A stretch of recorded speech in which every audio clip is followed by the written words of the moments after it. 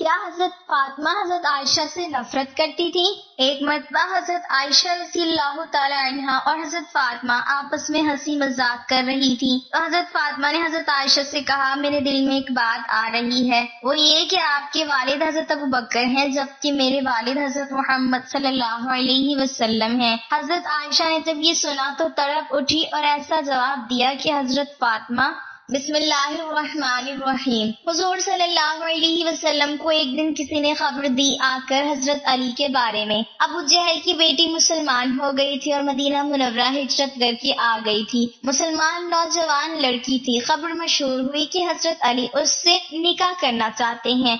हज़रत फातमा रसी तक पहुँची बात तो परेशान हुई। फितरी बात है, औरत परेशान होती है। और फिर अबू जहल की बेटी, उन दोनों ने वो दौर इकट्ठे देखा था। बारह तेरह साल का अजियत का दौर, वो जो ओछड़ी हुजूर सल्लल्लाहु वसल्लम पर डाली गई थी, हज़रत फातमा ने आकर हटाई थी। तो ख्याल हुआ कि मेरा गुजारा नहीं होगा अबू जहल की बेटी के साथ। पिछली बातें याद आएँगी। कौम का आपस में तो जाकर हजूर सल्लल्लाहु अलैहि वसल्लम से कहा ये पता चला है कि आपका अमजाद अबू जहल की बेटी आई है, उससे निकाह करना चाहता है। तो आप कोई बेटियों का ख्याल भी किया करते हैं कि नहीं? बेटी बाप से कह रही है। तो हुजूर सल्लल्लाहु अलैहि वसल्लम ने जाकर फरमाया कि नहीं भाई, नबी की बेटी और अबू जहल की बेटी एक घर में नहीं आएँगी। एक दफ़ा का ज़िक्र है कि हज़रत सैदना अली मुर्तजा रज़ी अल्लाह अपने घर आते हैं। घर के अंदर दाखिल होते हैं और कहते हैं ए फातिमा, मुझे लगता है आज अब्बा हुजूर आए हैं, यानी आज मेरे नबी आए हैं। सैदा फातमा रसी अल्लाह कहती हैं, ए अली, आपको कैसे पता चला कि हमारे घर में हजूर सल्लल्लाहु अलैहि आए हैं? कहा, मेरा घर जन्नत की खुशबू से ऐसे ही तो नहीं महक रहा, इसके महकने की कोई वजह है? मेरे घर से नबूवत की खुशबू आ रही है। मुझे तो यही लगता है कि मेरे नबी आए हैं। सैयद फातिमा तो जहरा रज़ी अल्लाह तला ने कहा, जी हाँ बाबा जान कमरे के अंदर बैठे हैं। पूछा, हुजूर अलैहि वसल्लम, का मेरे घर कैसे आना हुआ? तो सैयद फातिमा तो जहरा रज़ी अल्लाह तला कहती है, मेरे बाबा मुझे लेने आए हैं। हज़रत अली रज़ी अल्लाह तला ने पूछा तो फिर फातिमा, आप अपने बाबा के साथ गई क्यों नहीं? अभी तक क्यों बैठी हो? फातिमा, बताओ तो सही मेरे हुजूर को इंतज़ार क्यों करवाया? क्यों नहीं गई। नासिन सैदा फातमा जहरा रज़ी अल्लाह ने जो जवाब दिया, आज के इस्लाम की मुकद्दस शहजादियों के लिए बहुत बड़ा सबक है। जब हज़रत अली रसी अल्लाह ने कहा कि फातिमा, बताओ तो सही, आपने हुजूर सल्लल्लाहु अलैहि वसल्लम को मेरा इंतज़ार क्यों करवाया? आप गई क्यों नहीं? तो सैदा फातमा जहरा रज़ी अल्लाह ने कहा, ए मेरे शोहर मौसम आपके हुक्म के बगैर कैसे चली जाती? तो हज़रत अली रज़ी अल्लाह ने फरमाया, फातिमा, आपको पता नहीं है कि रसूल वसल्लम के सामने अली अपनी इजाज़त को कोई अहमियत नहीं देता। फरमाया, ए फातिमा, इन मौकों पर मर्ज़ी ना आपकी चलेगी, ना मेरी चलेगी। यहाँ चलेगी तो सिर्फ़ मेरे नबी की मर्ज़ी चलेगी। सैदा फातिमा जहरा रज़ी अल्लाह ने कहा, या वाली बात इजाज़त की नहीं है और बात मर्ज़ी की भी नहीं है। रब्बुलजलाल की इज़्ज़त की कसम, आज अगर मैं आपकी इजाज़त के बगैर घर से चली जाती तो कयामत की सुबह तक मेरे बाप के मुबारक नाम पर लोगों की उंगलियाँ उठ जाती कि नबी की बेटी शोहर की इजाज़त के बगैर घर से निकली थी। नाजिम शोहर की नाफरमानी करने से पहले, शोहर से लड़ने से पहले शोहर की इजाज़त के बगैर घर से बाहर निकलने से पहले सोच लेना कि आपके एक गलत कदम उठाने की वजह से आपके बूढ़े बाप के बालों की सफेदी रुल जाएगी। चौर के सामने ज़ोर ज़ोर से बोलोगी, ज़ोर ज़ोर से चीखोगी चिल्लाओगी तो मोहल्ले वाले कहेंगे, देखो फला की बेटी ने किस तरह तमाशा लगा रखा है। जब एक बेटी के पास कायनात का नबी लेने के लिए आए तो फिर भी वो शोहर की इजाज़त के बगैर घर से बाहर न निकली। इतनी बड़ी शख्सियत की बेटी होने के बावजूद भी शोहर की फर्मा बरदारी और शोहर के हकूक का इस कदर ख्याल रखे तो मुझे बताओ, ऐसी गोद में इमाम हुसैन न आते तो और कौन आता? जिसकी ज़िंदगी में कोई भी नमाज़ नहीं छूटी, ऐसी गोद में जैनब न आती तो और कौन आता?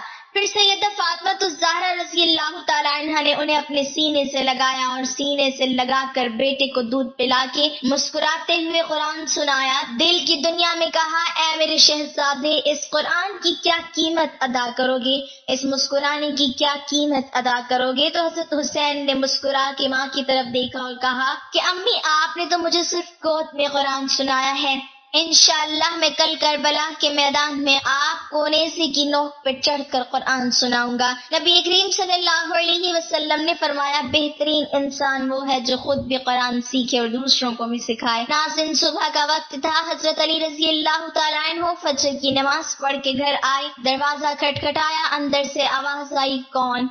हज़रत अली रज़ी अल्लाह ने कहा, फातिमा, मैं हूँ, दरवाज़ा खोलो। अंदर आए, देखा, सैयदा फातिमा रज़ी अल्लाह चक्की चला रही थी। इधर आटा गूंदा जा रहा है, पूछा, फातिमा, एक वक्त में दो काम कपड़े भी धुल रहे हैं, घर में झाड़ू भी लगा रही हो, आटा भी गूंदा जा रहा है, चक्की भी चल रही है? पूछा, फातिमा, खैर तो है, सारे काम एक ही वक्त में क्यों कर रही हो? तो कहा अली मेरे पास वक्त बड़ा कम है। हज़रत अली रज़ी अल्लाह का हाथ पकड़ाओ उठा के बिस्तर पर ले गए, कहा, लेट जाओ। सारी रात मुसल्ले में बैठी रही हो, सारी रात इबादत करती रही हो। पूछा, खैर तो है, वक्त क्यों कम है? हज़रत फातिमा तो जहरा रज़ी अल्लाह तला ने फरमाया अली, फजर की नमाज़ पढ़ के बैठी ही थी। अल्लाह अल्लाह कर रही थी, बैठे बैठे अचानक मेरी आँख लग गई, मुझे ख्वाब में मेरे बाबा जान की जियारत हुई। ख्वाब की दुनिया में मैंने देखा कि मेरे बाबा मेरे घर आए हैं, कभी कमरे में, कभी सहन में, कभी यहाँ वहाँ देख रहे हैं। ख्वाब की दुनिया में अचानक मैं अपने बाबा के सामने आ जाती हूँ। मेरे अब्बा मुझे सीने से लगा के जारो कतार रोने लगते हैं। मैंने अपने बाबा से पूछा, अब्बा, क्या बात है? आप क्यों रो रहे हैं? फरमाया बेटी मैं आपको लेने के लिए आया हूँ। मेरी फातिमा, बताओ तो सही, आज आपने रोजा किस चीज़ से रखा है?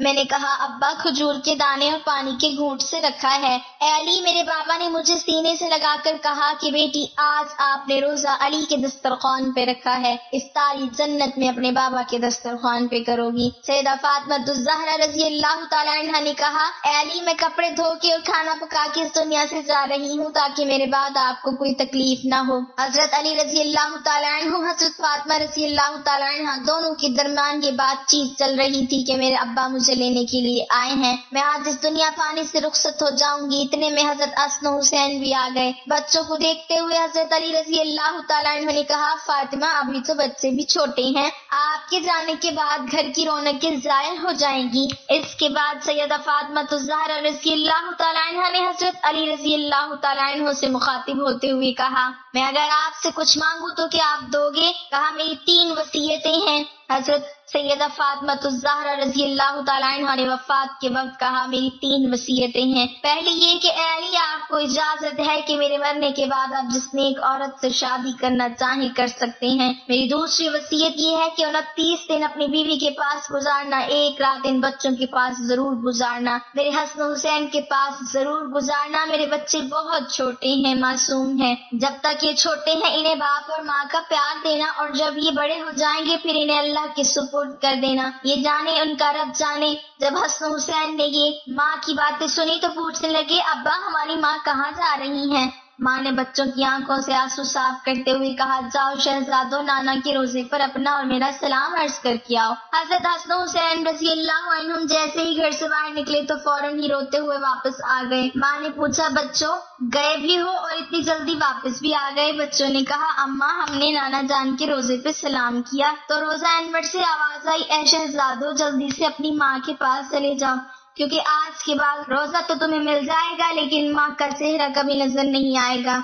जल्दी से जाओ, माँ को देख लो, माँ की जियारत कर लो, क्योंकि आज वो इस दुनिया से रुखसत हो रही है। फिर हज़रत फातमा रज़ी अल्लाह ने हज़रत अली रज़ी अल्लाह को तीसरी नसीहत बयान की। रोते हुए कहा, या अली, रसूल की रजा के लिए मेरी खिदमत में कोई कमी रह गई हो तो मुझे माफ़ कर देना।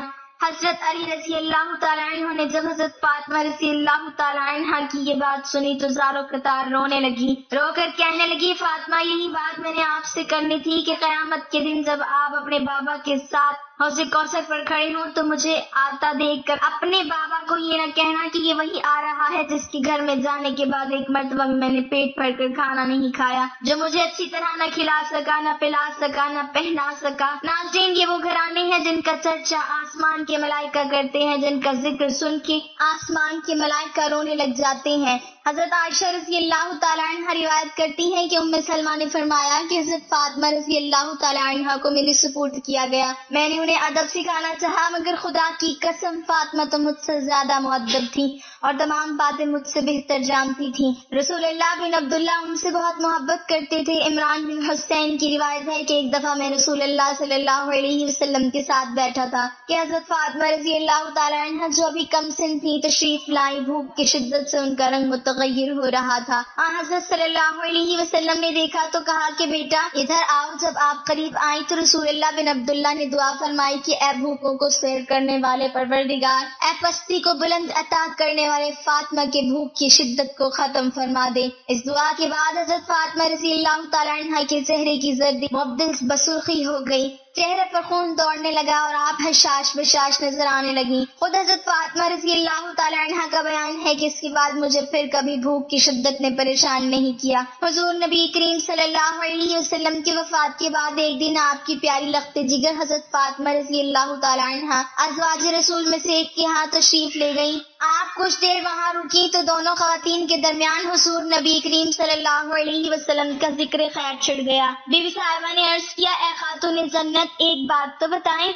फरमाया, पूछे, अर्ज़ किया, आपके बाबा जान को सारे सहाबा में से सबसे ज़्यादा कौन प्यारा है? हज़रत फातमा ये सवाल सुनकर मुस्कुरा पड़ी और फरमाया, आयशा बीबी साहिबा ने फिर पूछा और मर्दों में सैदा फातमा ने फरमाया, उनके वालिद हज़रत अबू बकर सिद्दीक रज़ी अल्लाह हो ये बात सुनकर हज़रत फातमा ने क्यों इरशाद फरमाए इसलिए कि वो जानती थी कि हुजूर नबी करीम सल्लल्लाहु अलैहि वसल्लम हज़रत आयशा से बेहद मोहब्बत फरमाते थे और इसका इल्म तमाम सहाबा कराम को भी था। यही नहीं, बल्कि खुद नबी करीम सल्लल्लाहु अलैहि वसल्लम ने अपनी प्यारी बेटी हज़रत फातमा को भी सैदा आयशा से मोहब्बत की तलकीन फरमाई थी। सहाबा कराम का ये मामूल था कि जिस दिन हजूर अली सलाम उम्मुल मोमिनीन हज़रत आयशा के पास होते तो ये हुजूर की खिदमत में बड़े बड़े हदीर तोहफे भेजते ताकि आप सलाम ज़्यादा खुश हों और हमारे लिए दुआ रहमत फरमाए। एक दिन हजूर अली सलाम की तमाम बीवियाँ एक घर में जमा हुई और आपस में मशवरा किया कि जब आका हमारे पास तशरीफ़ लाते हैं तो सहाबाग्राम हमारी तरफ़ इतने तोहफे नहीं भेजते,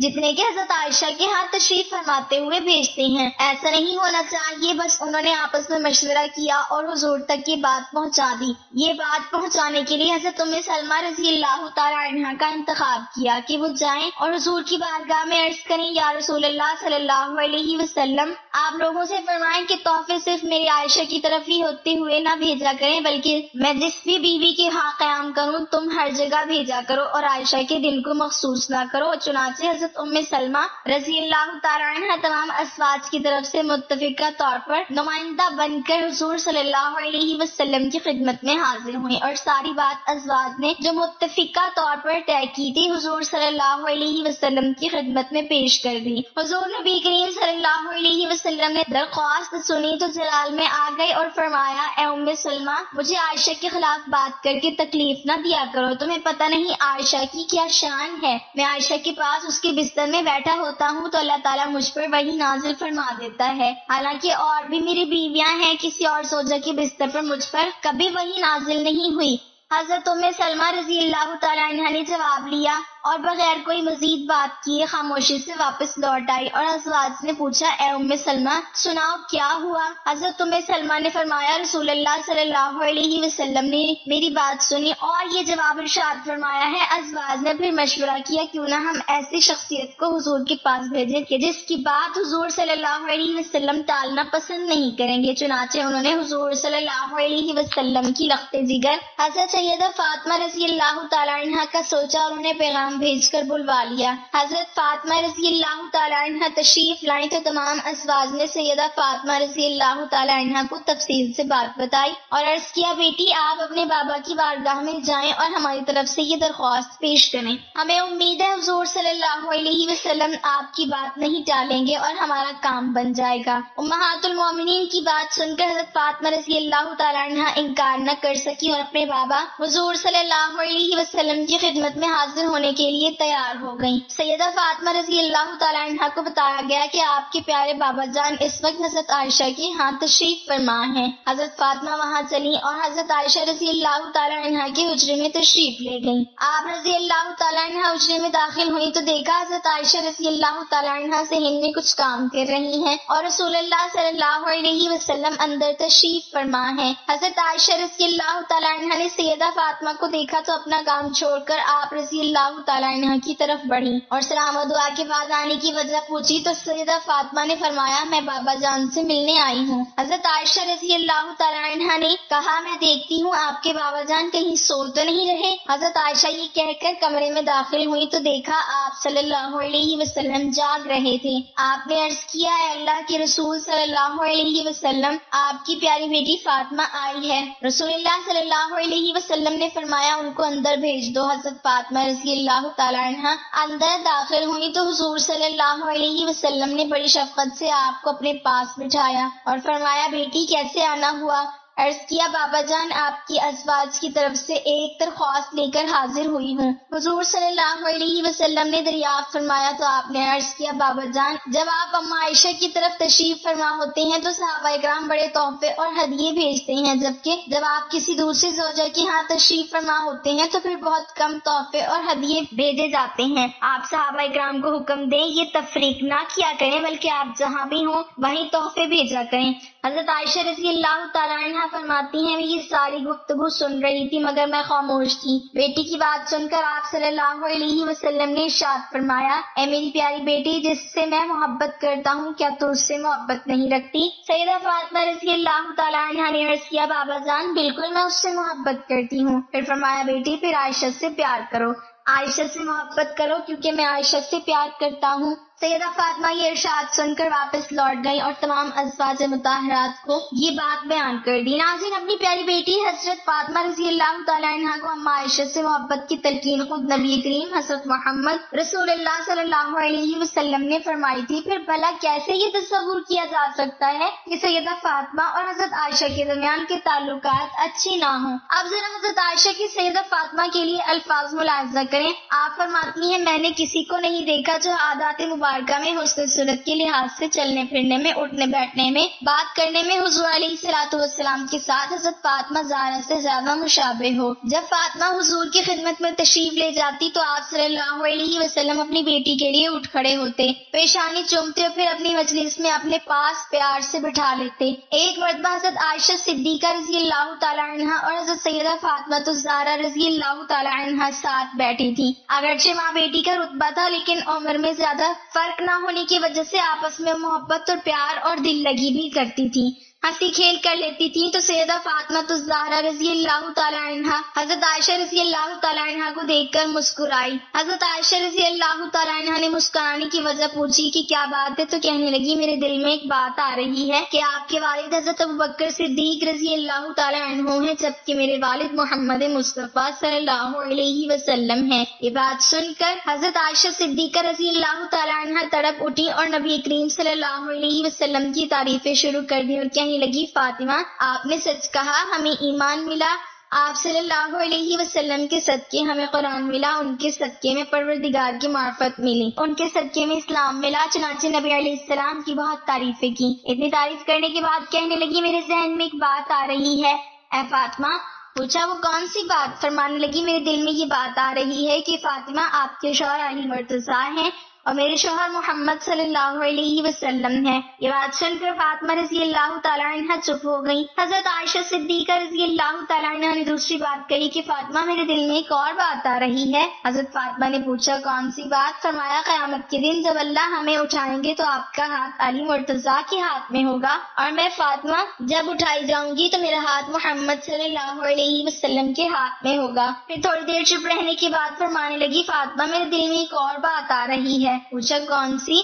फरमाने लगी कि तू खातून जन्नत है। जन्नती औरतों की सरदार है। तो जन्नत में जब तख्त पर बैठी होगी तो तेरे तख्त पर अली मुर्तजा होंगे। मगर फातिमा, जब मैं जन्नत में तख्त पर बैठी होंगी तो मेरे तख्त पर मोहम्मद सल्लल्लाहु अलैहि वसल्लम साथ बैठेंगे। अल्लाह रब्बुल इज़्ज़त ने उनको इतनी समझ अता फरमाई, इसलिए फरमाया करती थी कि अल्लाह रब्बुल इज़्ज़त ने मुझको ऐसी बातें अता की हैं जो किसी और की बीवी को नहीं मिली। सबसे पहली बात ये कि मैं सबसे पहली बीवी हूँ, जो कमारी नबी करीम सल्लल्लाहु अलैहि वसल्लम के निकाह में आई।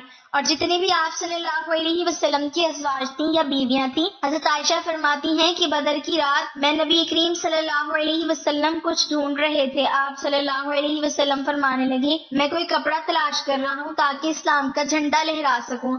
फरमाती हैं कि मेरा एक दुपट्टा था जिसमें सफ़ेद ज़मीन थी और उस पर काली धारियाँ थी। मैंने वो दुपट्टा आप सल्लल्लाहु अलैहि वसल्लम को पेश कर दिया। नबी करीम सल्लल्लाहु अलैहि वसल्लम ने मेरे दुपट्टे को अपने हाथ से इस्लाम का झंडा बनाकर लहराया। ये भी अल्लाह ने मुझे नसीब फरमाया। फरमाती हैं कि एक दूसरा एजाज ये मिला कि जिब्राइल इस्लाम ने अल्लाह इज़्ज़त के सलाम मुझे दुनिया में पहुँचाए। फरमाती हैं कि मुझे ये एजाज मिला कि जब मुनाफिकीन ने मुझ पर बहुतान बांधा तो उससे पहले यूसुफ सलाम पर भी इस तरह तोहमत लगी भी मरियम पर भी तोहमत लगी, मगर अल्लाह इज़्ज़त ने इन मासूम लोगों की, उन तोहमतों को मासूम जबानों से रद्द करवाया। छोटे बच्चों ने इस बात की गवाही दी कि ये लोग पाक हैं। इस तहमत से बरी है, फरमाती है कि जब मुझ पर तहमत लगाई गई तो अल्लाह ने छोटे बच्चों से गवाही दिलवाने की बजाय खुद अपने कलाम मुबारक से पाक दामनी की गवाही दी। ये तो बहुत बड़ा बहुतान है। फरमाती है कि यह एजाज से मुझे मिला कि नबी करीम सल्लल्लाहु अलैहि वसल्लम आखिर मरतबा जब बिस्तर अलालत पर थे तो आपका चेहरा अनवर और सर मुबारक मेरी गोद में था। मेरी निगाहें आपके चेहरे पर लगी हुई थी और आप उस वक्त अल्लाह के हुजूर पेश हो रहे थे। ये भी एजाज मुझे मिला। कि नबी करीम सल्लल्लाहु अलैहि वसल्लम ने मेरी गोद के अंदर सर रख कर दुनिया से हमेशा के लिए रुख्सत हासिल की। दुआ है कि अल्लाह हमें इन दोनों अजीम हस्तियों की इज़्ज़त तोकीर करने की तोफीक अता फरमाए और इनके सदके हमें भी हिदायत कामिला नसीब फरमाए। आमीन। नाजरीन।